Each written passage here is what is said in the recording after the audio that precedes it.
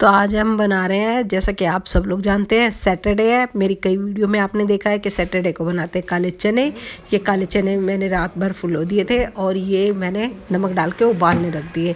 और इधर मैं कर रही हूँ, मेरे चने उबल भी चुके थे और मैंने प्लेट में निकाल लिए। ये प्याज काटी और हरा धनिया। बेसिक से मसाले मैंने सारे इसी में ही डाल लिए, क्योंकि उसमें भी डालने पड़ते। तेल मेरा गर्म हो गया, इसमें डाल देंगे जीरा। जीरा डालने के बाद डाल देंगे इसमें प्याज।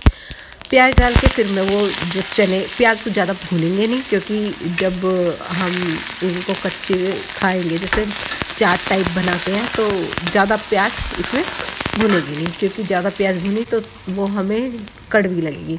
अब इसी स्टेज पे हम डाल देंगे, ये हमने छोले जो निकाले थे, और इसमें डाल दी मैंने सारे बेसिक से मसाले। और ये मेरे चने, अभी तो इसमें जैसे पानी दिखाई दे रहा है, देखिएगा।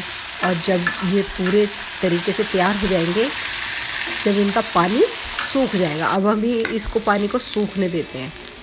और ये देखिए, काफ़ी देर हो गई थी, दस मिनट, और ये पानी सूख चुका है। और मेरे चने बन के तैयार है। अब मैं बनाती हूँ पराठे। पराठे बना के और गर्मा गर्म सर्व करती हूँ। बच्चों को खिलाती हूँ। ये डल गया इसके ऊपर से धनिया पत्ती।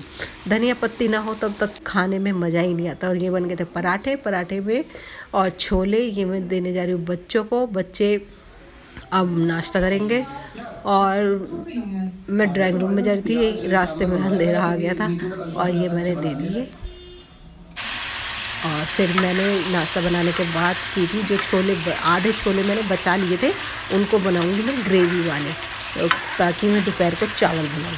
ये मैं ग्रेवी वाले छोले बनाने की तैयारी कर रही थी। मसाला मैंने पीस लिया था, टमाटर, प्याज और लहसुन, और उसी में डाल दिए थे मैंने सारे मसाले। मसाले हल्दी, नमक और लाल मिर्च। धनिया पाउडर। उसी में ही डाल देते। ये मेरा सब तैयार हो गया था बन के। ये मैंने इस पर भी धनिया डाल दिया। और अब इस पेस्ट को डाल दूँगी मैं कुकर के अंदर, जो कि बचे हुए छोले थे।